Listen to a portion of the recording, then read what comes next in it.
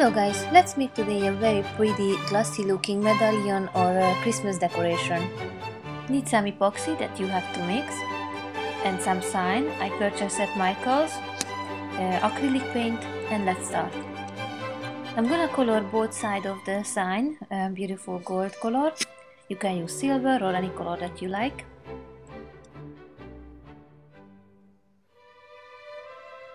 Let it dry for a half hour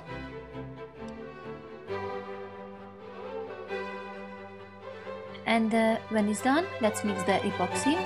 You have to mix it at least for uh, two minutes. And pour it to the silicone mold.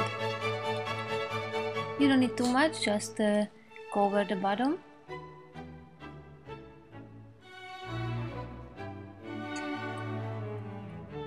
And now we can uh, heat up with a heat gun or a hair dryer so all the bubbles gonna pop out and we can decorate some uh, nice shiny stars, flitters, anything that uh, reflected the light so it would be Christmassy.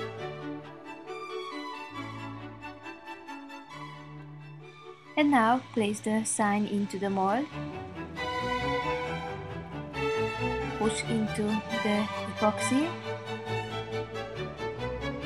Just press it down.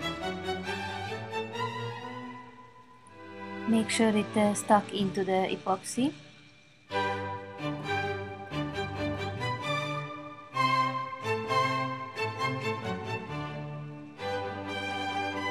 And let it dry for overnight.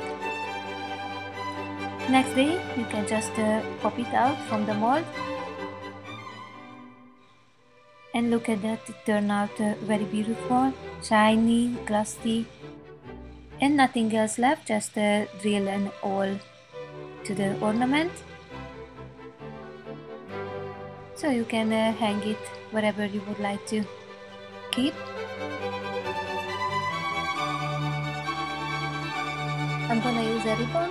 I hope you guys like it. Thank you for watching my video. And have a wonderful day to everyone